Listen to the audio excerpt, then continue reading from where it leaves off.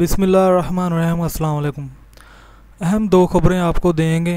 अब इससे पहले मेरे चैनल को सब्सक्राइब यार ज़रूर कर दिया करें, वीडियो को लाइक भी करें, वीडियो को शेयर भी करें।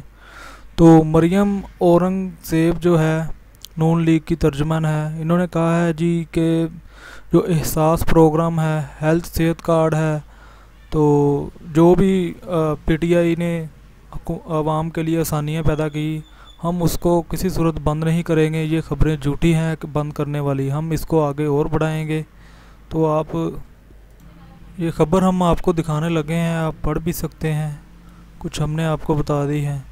ये आप देख सकते हैं नून लीग की तर्जमान मरियम औरंगज़ेब के बारे में, जो झूठ फैलाया जा रहा है नून लीग के बारे में।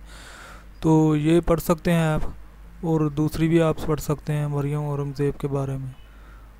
ये जो अवामी और क़वती सलामती के इश्यूज़ को अपनी सियासत के लिए इस्तेमाल नहीं करना, ये सारा पढ़ सकते हैं। तो दूसरी अहम खबर आपको देते हैं अब।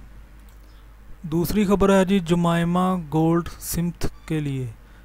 तो ये भी आप पढ़ सकते हैं, ये भी हम आपको दिखा सकते हैं कि जुमामा के घर के बाहर जो एहतजाज हो रहा है, नून लीग के कारकुन एहतजाज कर रहे हैं, जिससे जुमाइमा बहुत परेशान है, उनके बच्चों को परेशान किया जा रहा है। उन्होंने ये ट्वीट किया है कि मुझे 1990 वाला लाहौर, पाकिस्तान याद आ गया तो अब भी ऐसे ही एहतजाज किया जाता था नून लीग की पार्टी की तरफ़ से। ये आप पढ़ भी सकते हैं।